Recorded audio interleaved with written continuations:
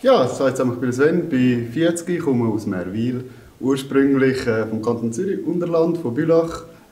Und ich mache da mit, weil ja, sie suchen eine authentische Person. Ich habe sicher mein, meine Geschichte von meinem Leben, die ich auch überbringen will. Ich will zeigen, dass ich äh, mit meinem Background auch irgendetwas erreichen kann.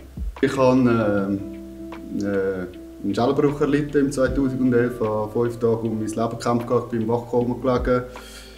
Äh, es läuft mir immer noch kalte Rücken drauf, wenn ich davon erzähle. Ähm, es war notwendig, so blöd wie es in meinem Leben, aber ähm, es war ein Hilferuf oder ein, ein, ein Wachruf, sagen wir es mal so, in meinem Leben. Und mein Leben hat sich hier um 180 Grad gedreht, sicher auch, wo meine Tochter auf die Welt kam.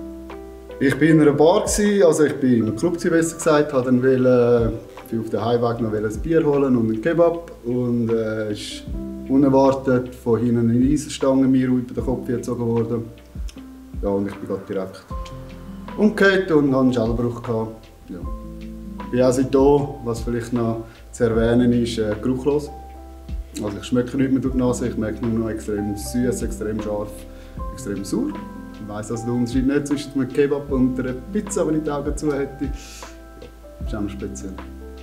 Ja, ist sehr heavy, aber ich habe mich, ich habe mich eigentlich ziemlich schnell wieder gefangen. Bin aber auch wie jetzt erst durch meine neue Partnerin, mich selber am Finden, bin das Ganze auch noch ein bisschen am Aufarbeiten mit verschiedenen Sachen. Ich bin am Meditieren, Hypnose mache ich. Ähm, ja, es, ich habe hier gerade weitergemacht, wie wenn nichts wäre, während der starke Mann spielen, was halt leider nicht so gut war. Ähm, ich bin gut durchgekommen. Ich habe immer gesagt, wenn du die drei Sachen hast, du schmeckst plötzlich nichts mehr, du siehst plötzlich nichts mehr, du ähm, hörst plötzlich nichts mehr, habe ich ziemlich in meinen Augen das Beste übel verwünscht.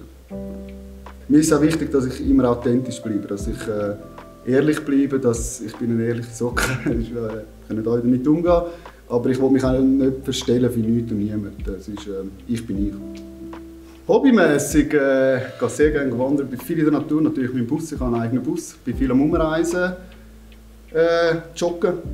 Das hat sich dann aber ziemlich mit dem Sport. Ich habe eine Zeit lang mehr Sport gemacht als äh, momentan. Ist aber okay so für mich, es stimmt so für mich. Meine Tochter ist natürlich, wenn das kann als Hobby anschauen, aber ich verbringe gerne und viel Zeit mit ihr. Ja, und sonst eigentlich alles, was in der Natur draußen ist, ist so ein bisschen meins. Ich bin nicht ein, ein Sessel. Wurzer, wie man so schön sagt. Ich bin nicht gerne in zu einem Räumen den ganzen Tag. Ich muss immer ein bisschen draußen sein, unter die Leute gehen, die Natur geniessen, darum auch wandern. Ja. Jetzt schon länger nicht mehr, gewesen, aber Snowboard ist schon das ist mein Ding. Das ist, äh, am liebsten Freeride irgendwo auf der Piste, wo, wo eben noch niemand war. Schon tief Schnee haben, ja, nicht bei der Masse zu auf den normalen Pisten, sondern dort, wo du frei sein kannst. Ja, ja, ich bin so ein bisschen der, der Wilderer, ja gerne mal etwas macht, das mich ein bisschen packt und wo ich ein bisschen, ja, den inneren Sauber muss überwinden und dann einfach geniessen kann. Das ist, das ist so. Das Zeit lang äh, bin ich jeden Tag live bei TikTok. Videos jeden Tag, zwei rausgehauen. Jetzt mache ich vielleicht noch eins im Monat oder so, wenn ich wirklich Lust habe. Aber es ist recht oben abgefahren. Also die, ja, es hat viele falsche Leute dort. Man kommt viele Sachen mit über, äh, sind Videos umgeschickt worden von mir an Privatpersonen, die nicht gewusst haben, dass ich TikTok kann, wo ich falsch hergestellt worden bin, wo ich, äh, man ja sagen, bis hierhin und nicht weiter. Wenn ich vorher nicht so hatte, habe ich immer Videos gedreht am Abend und dann wissen wir alles.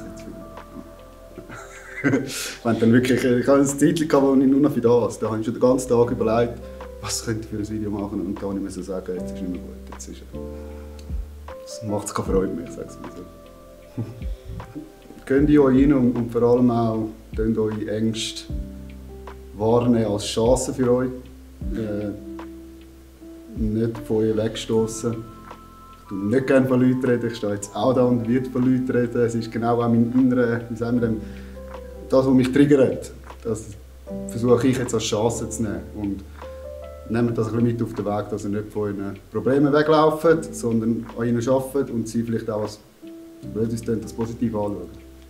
Bleibt euch selber. Das ist es.